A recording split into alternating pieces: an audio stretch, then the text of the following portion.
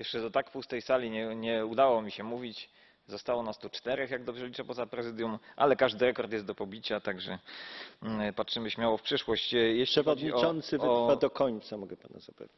o y, szczyt w Katowicach. Mam nadzieję, że będą tam poruszone takie kwestie, jak na przykład bezsensowny program Erasmus, który skłania ludzi do jeżdżenia bez sensu po całej Europie, zamiast studiować na miejscu i to na koszt innych, y, emitując po drodze różne dwutlenki węgla i inne gazy cieplarniane.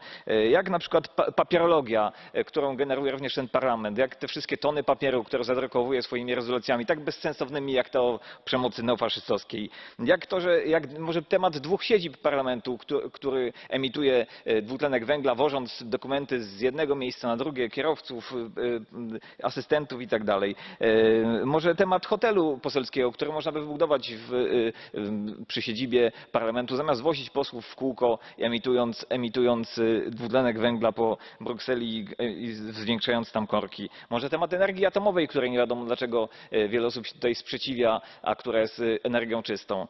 Także mam nadzieję, że tak, takie tematy nie ulegną tutaj zapomnieniu. Dziękuję. Dziękuję bardzo. E, Teraz przechodzimy do kwestii wykorzystywania danych użytkowników Facebooka przez Cambridge Analytica, ochrona danych. Pan Kelly, jedna minuta.